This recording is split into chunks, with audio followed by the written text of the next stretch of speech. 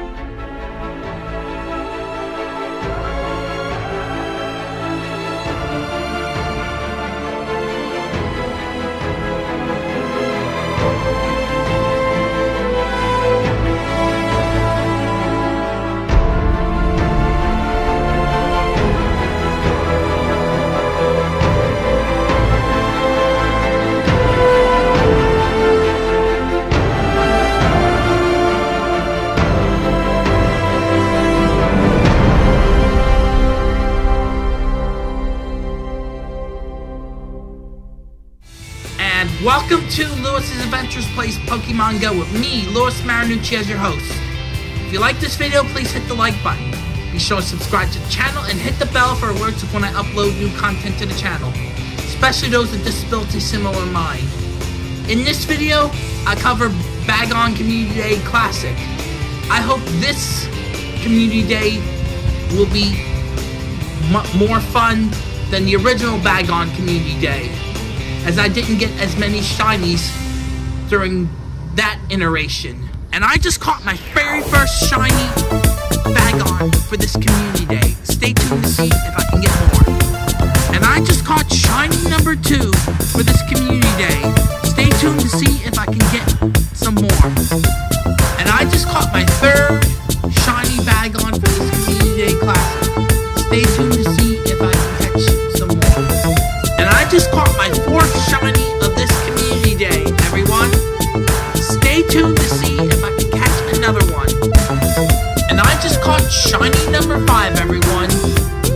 Stay tuned to see if I can get one or two more before closing out this community day class.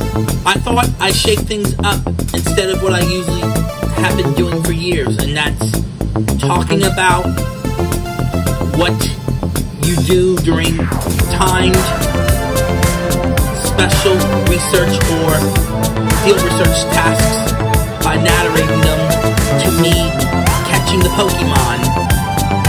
So instead, I thought I'd tell you here on camera. For Bagon Community Day, the field research task was just catch three Bagon with your reward of either a Bagon encounter, five Great Balls, two Ultra Balls, two Pineapple Berries, or 500 Stardust. As for the special research story itself, step one, you had to make five nice throws with your reward of 15 Pokeballs, catch 15 Bagon with your reward of a Bagon encounter, and power up a Pokemon 10 times with your reward of 20 Bagon candies. The total rewards for this step were 3,000 Stardust, a Bagon encounter, and 1 incense.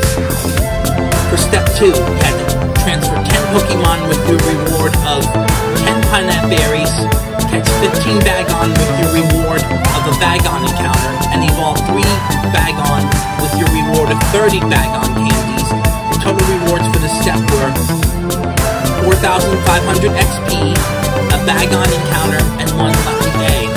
For step 3, you have to make 3 Great Curveball throws with your reward of 15 Great Balls, catch 15 Bagon with your reward of a Bagon encounter, and evolve a Shelgon with your reward of 50 Bagon candies. The total rewards for this step were 4,500 Stardust, a Shelgon encounter, and one Go Rocket Radar.